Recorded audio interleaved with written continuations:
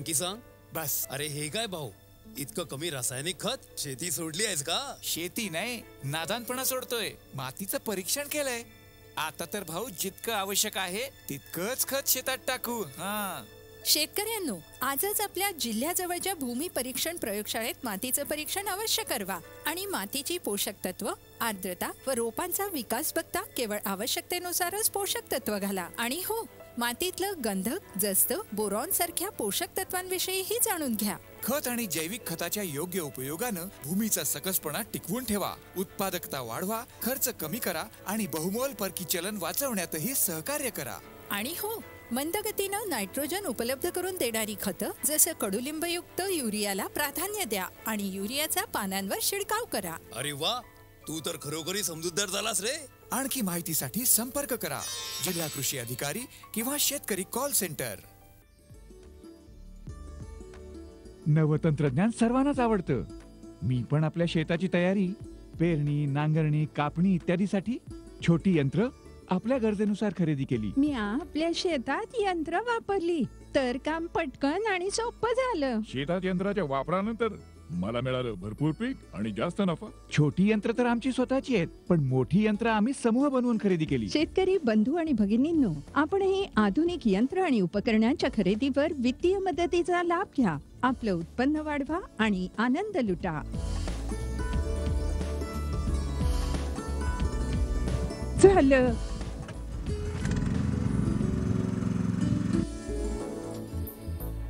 मी ठरवलंय मी तुला शेतीचा इंजिनियरच बनवणार. नवीन यंत्र नवी उपकरणं आपल्या द्वारी आली. होईल यापासून बरसात पिकाची आणि सुखाची.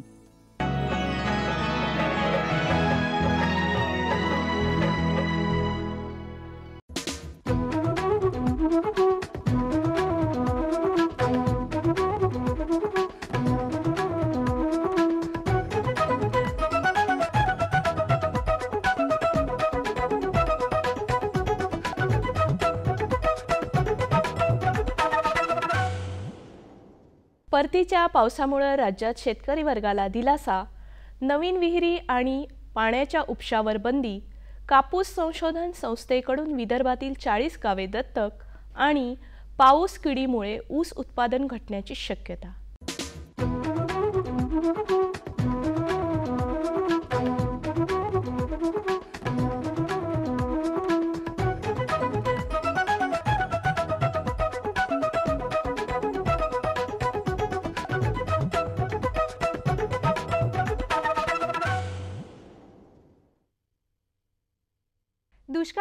पाणी पुरवठ्यासाठी एकशे बावन्न कोटींची तरतूद नियम पाळणाऱ्या कारखान्यांनाच यंदा गळिताची परवानगी डाळींच्या दरवाढीचा लाभ शेतकऱ्यांना नाहीच.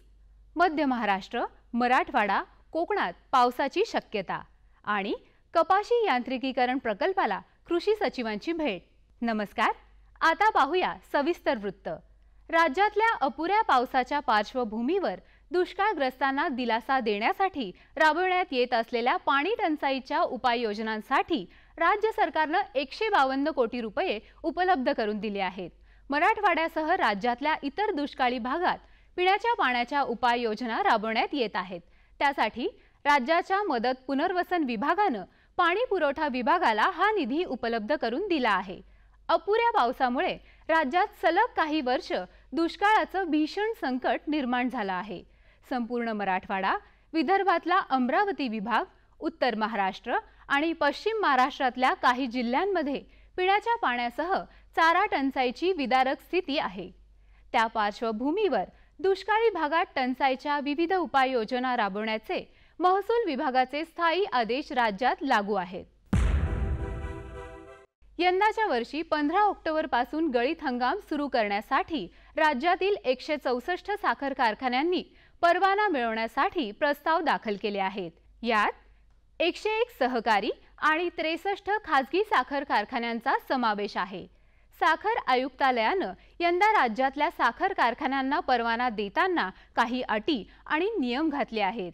त्यानुसार राज्यातल्या साखर कारखान्यांनी प्रस्ताव सादर करण्याचं आवाहन करण्यात आलं आहे. अटी आणि नियम पूर्ण न केलेल्या साखर कारखान्यांना परवाना देण्यात येणार नसल्याचं पुणे साखर आयुक्तालयाच्या विकास विभागाचे सहसंचालक पांडुरंग शेळके यांनी सांगितलं. यात प्रामुख्यानं गेल्या वर्षीच्या एफ आर पीची रक्कम पूर्ण देण्याची अट आहे.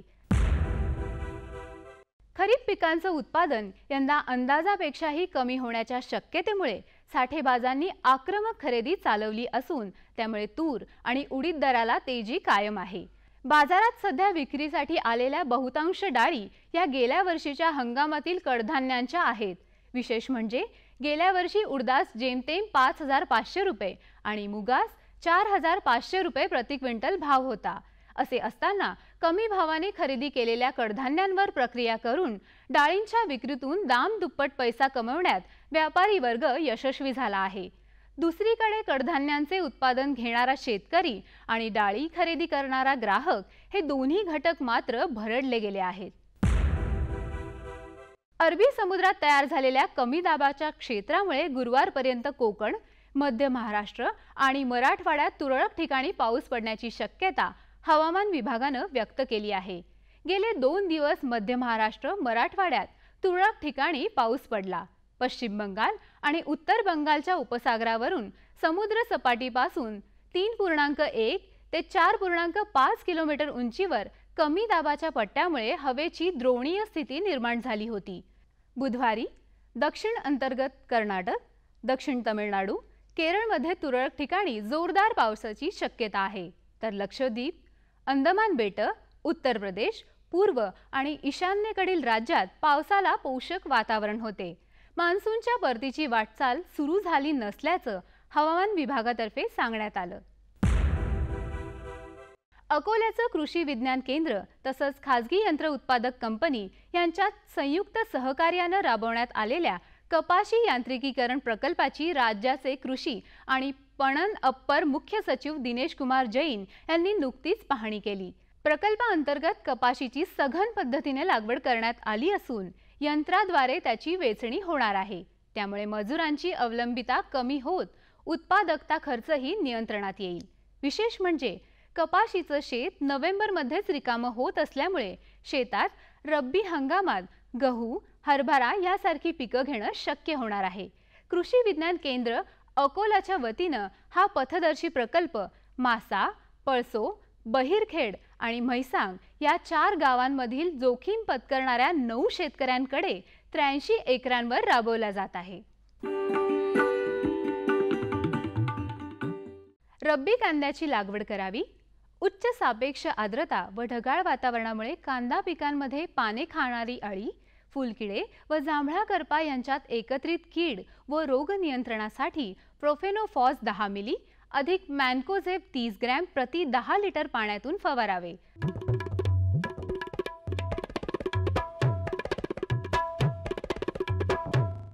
आता बघूया सातारा कृषी उत्पन्न बाजार समितीचे काही बाजारभाव प्रति क्विंटलचे. भेंडी कमाल दोन हजार पाचशे रुपये किमान एक हजार पाचशे रुपये. दुधी भोपळा कमाल एक हजार दोनशे रुपये किमान आठशे रुपये. कारले कमाल दोन हजार दोनशे रुपये किमान दोन हजार रुपये. कोबी कमाल आठशे रुपये किमान चारशे रुपये. काकडी कमाल दोन हजार रुपये किमान एक हजार पाचशे रुपये. वांगी कमाल तीन हजार रुपये किमान दोन हजार रुपये. हिरवी मिरची कमाल दोन हजार रुपये किमान एक हजार रुपये. शेवगा कमाल चार हजार पाचशे रुपये किमान चार हजार रुपये. हिरवा वाटाणा कमाल एक हजार दोनशे रुपये किमान आठ हजार रुपये. कृषी बाजारभाव विषयक अधिक माहितीसाठी W W W dot Agmark net dot N I C dot in किंवा W W W dot M S A M B dot com या संकेतस्थळाला भेट द्या.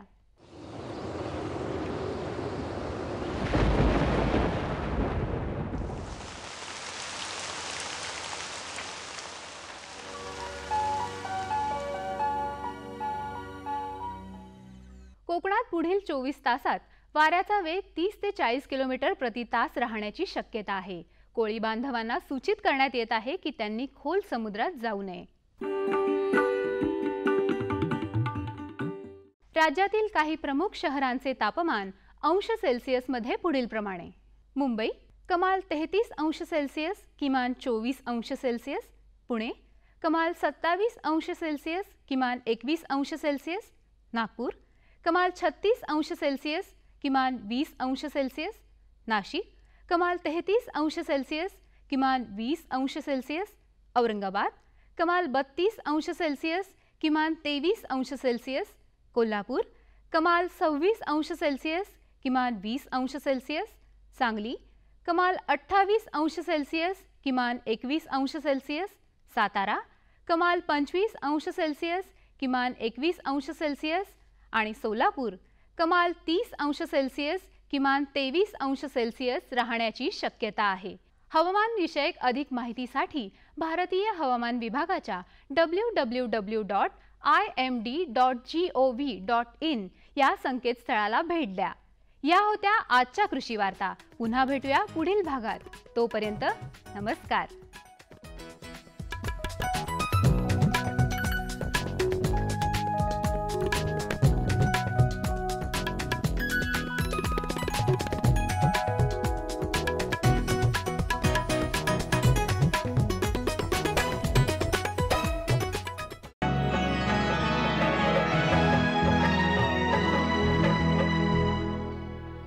नक्की नक्की. कुणाशी बोलत होता एवढं हसत हसत? अगं शेतकरी कॉल सेंटर तज्ञांकडून शेतीविषयी सल्ला घेत होतो. सकाळी पण? दुपारी पण? अगं शेतकरी कॉल सेंटर सकाळी सहा वाजल्यापासून रात्री दहा वाजेपर्यंत खुलं असतं. रविवारी पण? अगं हो बाई वर्षाचे तीनशे पासष्ट दिवस खुलं असतं. कृषी संबंधी समस्यांचं आपल्या भाषेत लगेच समाधान मिळवण्यासाठी पूर्ण भारतातून कोणत्याही फोननं राष्ट्रीय हेल्पलाईन क्रमांक एक आठ शून्य शून्य एक आठ शून्य एक पाच पाच एक वर संपर्क करा.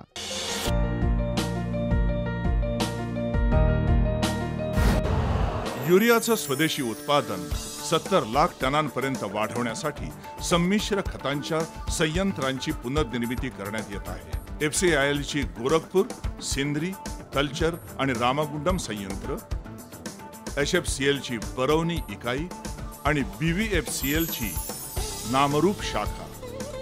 सोन्याहून पिवळं म्हणजे देशात आता निर्मिती होईल केवळ निमलेपित युरिया कारण यामुळे होणार शेतकऱ्यांचा फायदाच फायदा. धान्य उत्पादन दहा टक्क्यांपर्यंत वाढेल. नायट्रोजन क्षमता दहा ते पंधरा टक्के वाढेल.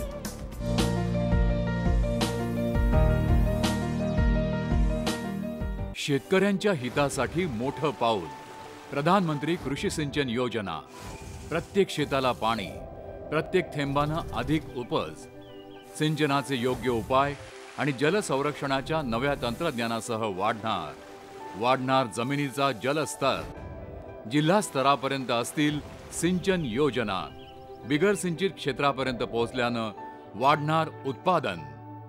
भारत सरकारची भव्य योजना प्रधानमंत्री कृषी सिंचन योजना.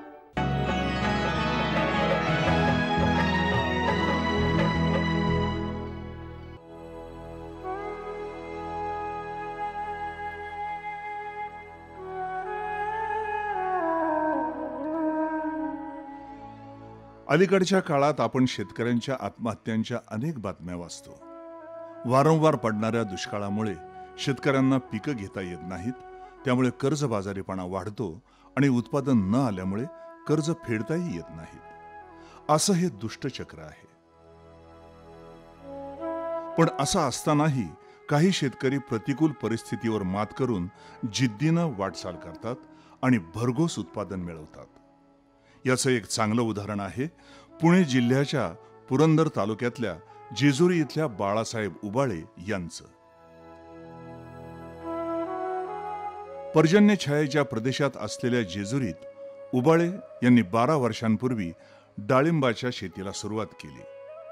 त्यांच्यासह पत्नी दोन मुलं आणि आई यांनी केलेल्या कष्टाचं हे फळ असल्याचं ते आवर्जून सांगतात. कृषी विभागानंही त्यांना या वाटचालीत मोलाचं मार्गदर्शन केलं. एक एकर शेतीमध्ये मी स्वतःची डाळिंबाग बारा वर्षापूर्वी लागण केलेली आहे. लागण करताना कृषी विविध खात्याकडनं बर भरपूर काही माहिती घेतली. सहकार्य त्यांचे मला मिळाले. अनुदानाच्या स्वरूपात जे काय मला मिळाले त्याचा मी पुरेपूर वापर करून ही डाळिंबाग फुलवण्याचा प्रयत्न केला. पाण्याची टंचाई असल्यानंतर मी स्वतःचे प्रयत्न केले की आपल्याला काहीतरी ठिबक सिंचन करावं. कृषी कार्यालयामध्ये जाऊन संपर्क साधून त्यांच्याकडनं काय योगदान मिळतं का हे पाहिलं आणि त्यांनी मला ठिबक सिंचनला यो अनुदाना स्वरूपात जे काय मदत केली त्यानंतर मी कमी पाण्यावरती डाळिंबाची शेती कशी फुलते हे स्वतः पाहिलं. आणि नंतर मी आता गेल्या बाद जवळजवळ बारा वर्षापासून डाळिंबाचं चांगल्या पद्धतीने उत्पादन घेत आहे. माझं एक एकरमध्ये दोन गुंठ्याचं स्वतःचं राहतं घर आहे. अडतीस गुंठ्याचं क्षेत्र आहे त्यामध्ये. बाकी लागण माझे अकरा फूट बाय अकरा फुटावर केलेले आहे. त्यामध्ये मी सुरुवातीला फ्लोचं पाणी देत होतो. त्यात आंतरपिकं कांदा कोथिंबीर अशी एक वर्ष पिकं घेतल्यानंतर आंतरपिकं बंद केली आणि पूर्णपणे डाळिंबाकडं लक्ष केंद्रित केलं. आणि पहिला बार धरल्यानंतर ह्या डाळिंबा शेतीमध्ये काहीतरी मिळतं आहे हे जसं पैसे मिळायला लागल्यानंतर कळायला लागल्यानंतर मी तिथनं पुढं आवडीने या क्षेत्रात ओढून घेतलं. आज बारा वर्षापासून माझ्या स्वप् स्वप्नातसुद्धा डाळिंबाचं असतं की ह्याच्या व्यतिरिक्त मी डाळिंबाशिवाय काहीच विचार करत नाही. डाळिंबाच्या बहाराचं तंत्र सांभाळणं सर्वात महत्वाचं असतं. हे तंत्र उबाळे यांनी आत्मसात केलं आहे. बहार येण्यासाठी पाणी बंद केलं जातं. सत्तर टक्के ताणानंतर छाटणी केली जाते. त्यातून संसर्ग होऊ नये म्हणून मजुरांकडे ते जातीनं लक्ष देतात. तासाला साठ लिटर ह्या पद्धतीने आम्ही एकच तास ड्रिप देतो. ते सुद्धा ऊन असेल तर नाही तर क त्या वातावरणानुसार आम्ही पाण्याचं प्रमाण दिलं जातं आहे कळी निघत असताना बारा एकसष्ट झिरो ह्याचा ड्रिपमधनं वॉटर सुलेबल हे आम्ही एकराला तीन किलो एक डोस दिल्यानंतर कळी बऱ्या प्रमाणे निघते. कळी बाहेर पडत असताना शेटिंग पिरियडमध्ये ॲम्युनो बेसचा किंवा बोरॉन कॅल्शियम यासारखे स्प्रे घेऊन शेटिंग बऱ्या पद पद्धतीने होण्या करण्यासाठी खूप प्रयत्न करत असतो. रोगकिडींचं नियंत्रण करताना नैसर्गिक संतुलन बिघडणार नाही याची काळजी उबाळे आवर्जून घेतात. किंबहुना त्या दृष्टीनंच त्यांचं व्यवस्थापन असतं. शेटिंगच्या पिरियडमध्ये खूप महत्त्वाचा काळ आहे की त्यामध्ये शेटिंग ड्रॉपिंग खूप प्रॉब्लेम असतो. कारण त्यामध्ये मधमाशीला हानिकारक कीटकनाशक फवारले तर मधमाशी ॲक्टिव्ह होत राहत नाही यामध्ये. कळी बारकी बाजरीच्या दाण्यासारखे असताना रासायनिक कीटकनाशकं फवारत नाही. निंबुळे आर्क असे फवारणी करून त्यामध्ये मधमाशीला कुठलीही विजा बाधणार नाही. हार्ड कीटकनाशकं आम्ही कुठलीच फवारत नसल्यामुळं चांगल्या पद्धतीने मधमाशी येते आणि सेटिंग चांगल्या पद्धतीने होतं. शेटिंग जर जास्त जर आम्हाला वाटलं तर आम्ही त्या फळांची विरळणी करून घेतो. विरळणी करत असताना जे जाड काडीचंच फळं आम्ही ठेवतो बाकीचं काढून घेतो. त्याचा फायदा असा होतो की जाड काळीच्या फळांची साईज आम्हाला भरपूर मोठी मिळते आणि त्याचं मार्केटमध्ये चांगल्या पद्धतीचा भाव मिळतो आणि जाड काळीच्या फळाला आधार कमी द्यावा लागतो. तेलकट डाग रोग होऊ नये म्हणून अतिरिक्त पाण्याचा वापर टाळला जातो. तेल्यासाठी आम्ही जास्त पाणी वापरत नाही. कारण जास्त पाण्यामुळं मॉइश्चर जमिनीमध्ये वाढते. मॉइश्चर वाढल्यानंतर तेलाचे फंगस जमिनीमध्ये खूप पट मोठ्या पद्धतीने होतात. त्यामुळे आम्ही जास्त पाण्याचाही वापर करत नाही. कारण डाळिंब हे पीक दुष्काळी कोरडवाहू पीक आहे. याला कमी पाण्यावरती येणारं उत्पादन आहे. प्रथम ग्लिजिंगकडं लक्ष देत असतो पहिला एक महिना.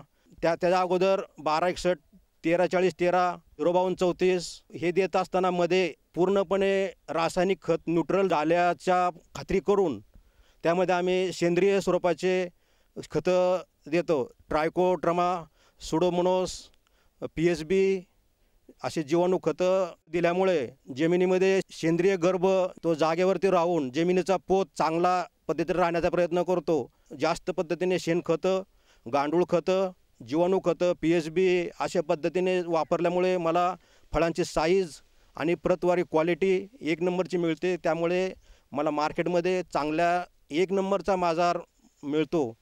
या ठिकाणी गेली दहा बारा वर्षापासून जे काय सातत्यपूर्ण गुणवत्तापूर्ण असं उत्पादन घेतलं जातं आहे त्या उत्पादनामध्ये त्यांचं स्वतःचं शंभर टक्के कष्ट आहे. त्यांचं पूर्ण कुटुंब या अडोतीस गुंठ्यामध्ये दिवस आणि रात्र कार्य कार्यरत असतं. जेजुरी परिसरात जे काय पर्जन्यमानाची जी स्थिती आहे ती अत्यंत दयनीय अशी अवस्था आहे.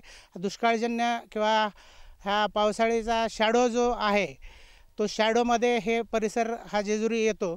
त्याच्यामध्ये फार प्रतिकूल परिस्थितीमधून त्यांनी त्या अडतीस गुंठ्यामध्ये दोन ते तीन बोर घेतलेले आहेत आणि अर्धा इंच एक इंच पाणी असं एकत्रित केलेलं आहे आणि त्या पाण्याचा उपयोग ते सूक्ष्म सिंचनाद्वारे या बागेला करत असतात आणि आवश्यकतेनुसारच ते पाण्याचा वापर करत असतात. सेटिंगच्या वेळेला खत व्यवस्थापनाच्या वेळेला ते त्यांच्या स्वतःच्या जमिनीतला मातीचा नमुना आणि पाण्याचा नमुना दरवर्षी तपासून घेतात. त्या तपासणी अंती त्यांच्या असं लक्षात येतं की काही घटक जमिनीमध्ये मुबलक प्रमाणात उपलब्ध आहेत.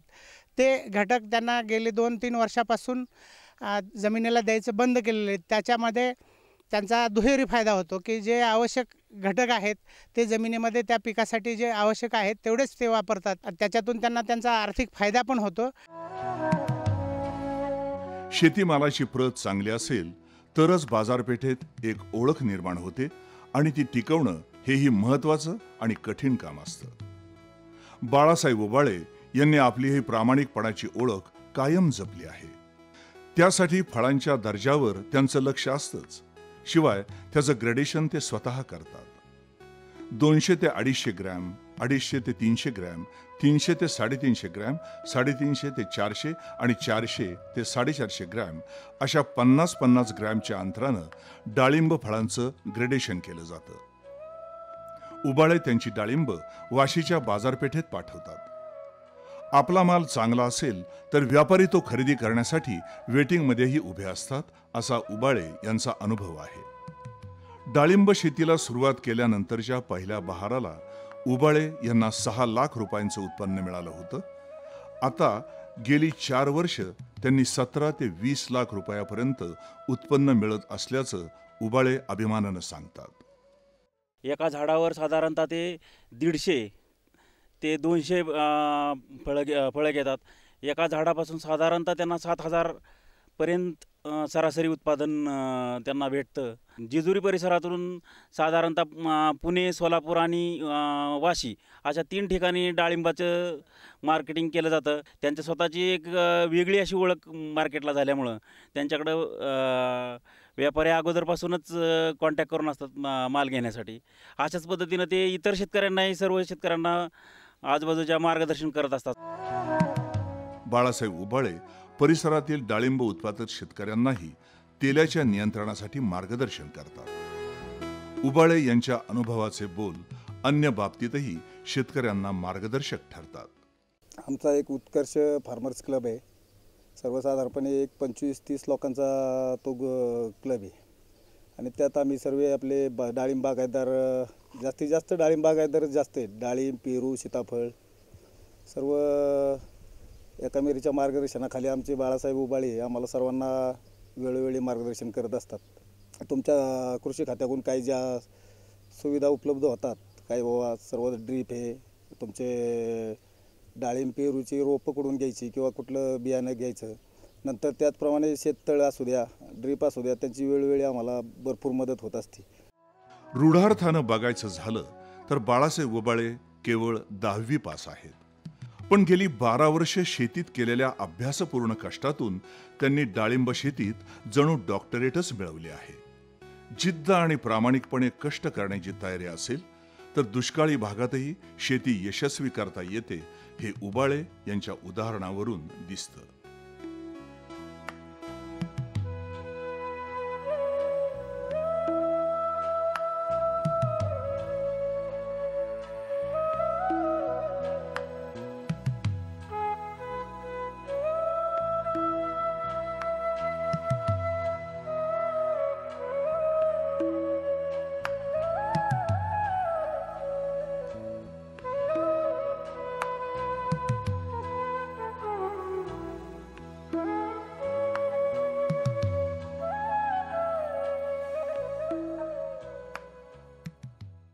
आमचा पत्ता निर्माता कृषी दर्शन दूरदर्शन केंद्र पुणे. आमचे ईमेल आय डी असे आहे डी डी के पुणे कृषी ॲट हॉटमेल डॉट कॉम आणि डी डी के पुणे कृषी ॲट रेडिफमेल डॉट कॉम